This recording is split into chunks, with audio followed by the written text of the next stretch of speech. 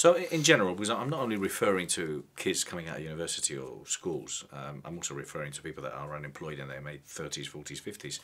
Well, what do you think the best assets are now? So obviously it's about learning and education, but what do you think the best assets to have? Flexibility.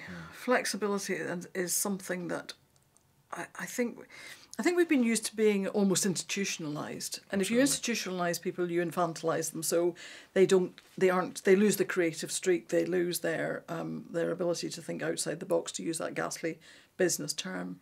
Um, so if we can persuade people that they have got a lot more to give than just what they're giving in their particular in their job, then those attributes that they that they also have that they're not using in, in, in work could be put to good use uh, and help them to learn as you know to pick up different skills as they go along. I sometimes think employers look at a CV and they look at your qualifications and they look at your experience, but they don't look at your attributes as a person. Um, and there's a lot, most people have got a lot more that they could give. They've got a lot of ideas they could inject into a business. They've got lots of, um, if you consult your employees, for instance, you get massively good ideas. And the best employers are the ones who talk to their workforce and then put their ideas into into process. And you can uh, you can turn businesses around that way by using the skills and attributes and everything else that your that your employees have without looking outside for consultancy.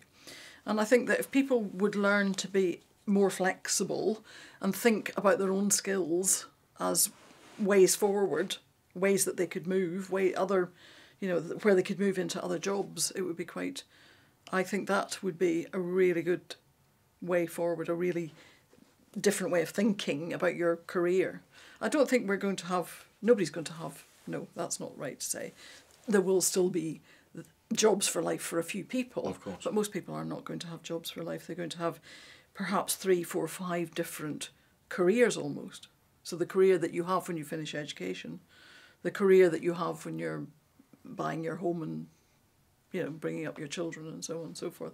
The career that you have in your 50s because actually you, you've gone as far as you can do and you want to do something completely different. And then perhaps another career in 60s and 70s because you're working later, but you want to do something lighter or something more creative or something that you've always longed to do. Mm. And we're seeing a lot more people now setting up businesses in their 50s because they're being made redundant and they're setting up little businesses doing things that they've always wanted to do and um, you know really letting their creativity flow.